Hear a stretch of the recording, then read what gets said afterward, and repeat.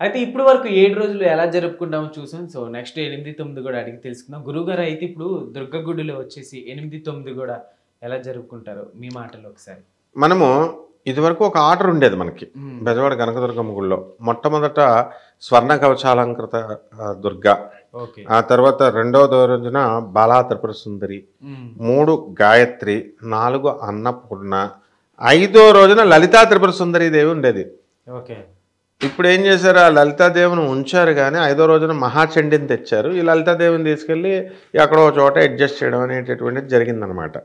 కాబట్టి ఒక రోజున ఈ లలిత అమ్మవారిని కలిపి మళ్ళీ మనము మహాచండి చేసి మహాలక్ష్మి సరస్వతి దుర్గా మహిషాసుర మర్దిని చేసేసి ఆఖరి రోజున రాజరాజేశ్వరి దేవి చేసాం కాబట్టి ఈసారి తగులు మిగులు వచ్చినాయి కాబట్టి దేవస్థానం ఏం చేసిందంటే లలితాదేవి యొక్క ఆరాధన కూడా మనకి మధ్యలో ఇరికించింది ఈ తొమ్మిది రోజుల్లో.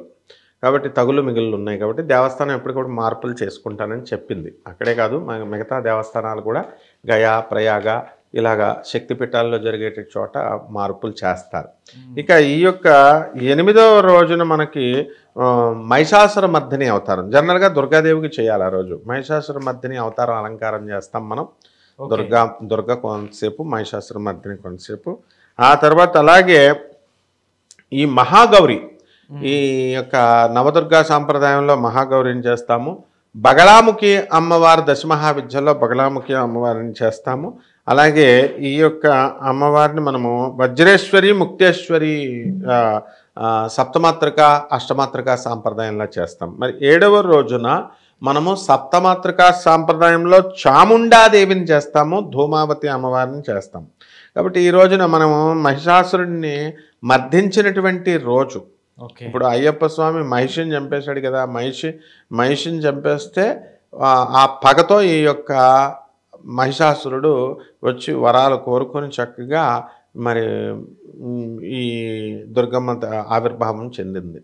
అయితే ఇప్పటి వరకు కూడా ఈ యొక్క దుర్గాదేవి ఎలాగుంది? రోజు కూడా యుద్ధం చేసి వస్తుంది పులి మీద వెళ్తుంది యుద్ధం చేసి వస్తుంది. దేవతలందరూ ఒక గుళ్ళో మీటింగ్ పెట్టుకొని ఏ రోజుకి ఆ రోజు రిపోర్టింగ్ ఎలాగైతే జరిగింది అంతవరకు జరిగిందని రేపు రేపు వ్యూహాలు ప్రతి వ్యూహాలు ఏం చేయాలా ఇలా నిర్ణయించుకుంటా ఉండేవారు. అయితే ఏం జరిగిందంటే అనుకోకుండా దుర్గమ్మ అర్ధరాత్రి పన్నెండు గంటల వరకు మామూలు నార్మల్గా ఉంది. పులి ఇప్పుడు కూడా గాండ్రిస్తుంది. కానీ పన్నెండు గంటల తర్వాత ఆ పులి ఏమో గర్జిస్తుంది ఇప్పుడు. సింహగర్జన అంటాం. సింహంలా మారిపోయింది పులి. అంటుంది అనమాట సింహం అలాగే అరుస్తుంది. సో సర్కసుల్లో రాజమండ్రిలో మేము రైల్వే వ్యాగన్లో గూడ్ షెడ్లో ఈ సింహాలు వచ్చినప్పుడు చూసేవాళ్ళం. చిన్నప్పటి నుంచి మాకు సింహం అరుపు తెలుసు. అలాగే దుర్గాదేవిగా ఉన్నటువంటి అమ్మవారు ఏమైపోయింది? ఈ యొక్క రూపం మారిపోయింది నగనంగా అయిపోయింది అమ్మవారు నల్లగా అయిపోయింది అప్పుడు దాకా ఎర్రగా దగదగ దగదగ మెరుస్తున్న బంగారపు ఛాయ్ పోయి. ఇప్పుడు నలుపైపోయి దిగంబరమైపోయి జుట్టంతా విరబూసుకొని మహాకాళిలాగా మారిపోయింది. మహాకాళిలాగా మారిపోయి ఆమె చూడగానే బ్యాక్ సైడ్ నుంచి చూడగానే మామూలు దేవతలకు కాదు త్రిమూర్తులు బ్రహ్మ విష్ణు మహేశ్వరులకి గుండె గభేలని గుండె పగిలిపోయింది. కాబట్టి ఆమె ఆ గాండ్రించుకుంటూ వెళ్ళి ఆ రాక్షసుడిని మహిషాసురుడిని తోలు తీసేసి వాడిని చంపేసి మై ఇక్కడ బెజవాడ కనకదుర్గమ్మ తల్లి కొండ మీద నుంచి తరిమితే అక్కడ చాముండేశ్వరి దేవి గుళ్ళో వాడిని వేసేసి వచ్చి ఆ యొక్క త్రిశూలాన్ని ఇక్కడ బెజవాడ కనకదుర్గమ్మ దేవి గుళ్ళో కడుక్కుంటుందన్నమాట. కాబట్టి ఈ రోజున అందరూ కూడా ఎట్లా చేయాలి అని అంటే మహిషాసురమని ఆయుధ పూజ మహార్నవమి అంటాం ఆ రోజు. ఆయుధ పూజలు చేస్తారు. అందరూ కూడా ఎవరు ఎవరి యొక్క ఆయుధాలు వాళ్ళు తెచ్చుకుంటారు. ఆర్టీసీ తర్వాత ఈ యొక్క రైల్వే వాళ్ళు ఏకంగా ఆర్టీసీ బస్సుల్లో ప్రతి ఒక్కళ్ళు బంతి దండలు అవన్నీ కట్టేసి అమ్మవారి దుర్గాదేవి బొమ్మ పెట్టేసి మహిషాసుర మధ్యని రోజున దుర్గా వాళ్ళు చేస్తారు. ఆ తర్వాత కొబ్బరికాయలు గుమ్మడికాయలు అవన్నీ కొట్టేసి నైవేద్యాలు అవన్నీ కూడా చేస్తారు. చాలామంది ఏం చేస్తారంటే విజయదశమి రోజున ఇక దగ్గరకు వచ్చేసింది కాబట్టి వాళ్ళు మేకలను వేసేసి ఈ ఇప్పుడు కొన్ని కార్పొరేట్ సంస్థలు ఉన్నాయి. అవన్నీ కూడా.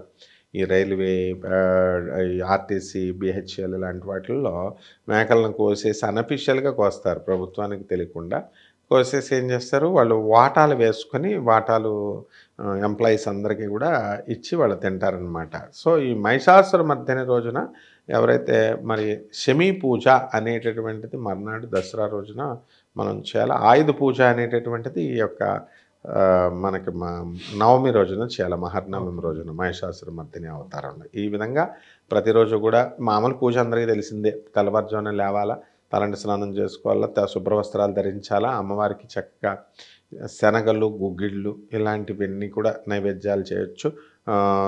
ఏంటిది పులిహార దద్దోజనం చక్ర పొంగలి ఇలాంటివన్నీ కూడా మనం అమ్మవారికి సమర్పించి మనం పూజలు చేసుకోవచ్చు. ఇక్కడ మహిషాసుర మర్దినికి దశమహావిద్యా సాంప్రదాయంలో ఆ ఎనిమిదవ రోజున మనము బగలాముఖి అమ్మవారి యొక్క హోమాన్ని అలంకారాన్ని చేస్తాం ఆవిడని అర్చిస్తాం.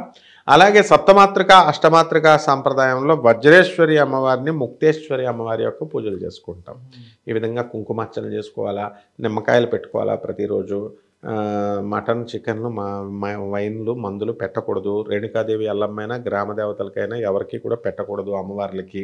అలాగే చక్కగా కదంబ పుష్పాలంటే అమ్మవారికి ఇష్టం. బ్యాడ్మింటన్ బాల్స్ అవి తేవాలా? చండీ సప్తశతి దుర్గా సప్తశతి దేవి భాగవతము ఇలాంటివన్నీ కూడా మనం చదివి మనం అమ్మవారికి చేయడం ద్వారా మంచి అమ్మవారి అనుగ్రహం ఈరోజు మనందరికీ వస్తుంది. ఓకే. గురుగారు ఇప్పుడు అలానే చూసుకుంటే తొమ్మిదో రోజు అమ్మవారికి పూజలు ఎలా ఉంటాయి? మనకి ఈ తొమ్మిదో రోజున మహిషాసుర మర్దని జరుగుతుంది. ఈ సంవత్సరం అవతారం బెజవాడ కనకదుర్గమ్మ దేవస్థానంలో. అయితే మనము ఏం చేశారంటే కొంచెం తగుళ్ళు మిగులు రావడం వల్ల మహిషాసుర మర్దిని తర్వాత మధ్యాహ్నం నుంచి ద బెజవాడ కనకదుర్గమ్మ తల్లి రాజ్య రాజరాజేశ్వరి అమ్మవారి యొక్క పట్టాభిషేకం చేస్తారు కాబట్టి అలంకారం చేస్తున్నారు.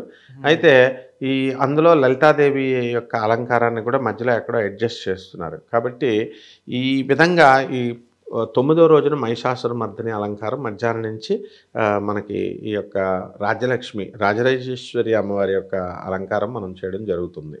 ఇక్కడ ఏం జరుగుద్దంటే రాజరాజేశ్వరి అంటే ఇక్కడ తొమ్మిది రోజులు కూడా యుద్ధం చేసేసింది కదా తొమ్మిదో రోజున చేసేసిన తర్వాత మనకి అలిసిపోయింది అమ్మవారు ఇంకా. సెలబ్రేట్ చేసుకోవాలి. రాజ్య పట్టాభిషేకం చేయాలి. మహిషాసురు మా వాడిని చంపేసింది. కాబట్టి ఈ తొమ్మిదో రోజున మనకి ఏమవుతుందంటే సిద్ధిధాత్రి అనేటటువంటి ఆ అమ్మవారి యొక్క అలంకారం మనం ఇక్కడ అలంపురం గుళ్ళోను తర్వాత గయలోను మనం చేయడం జరుగుతుంది.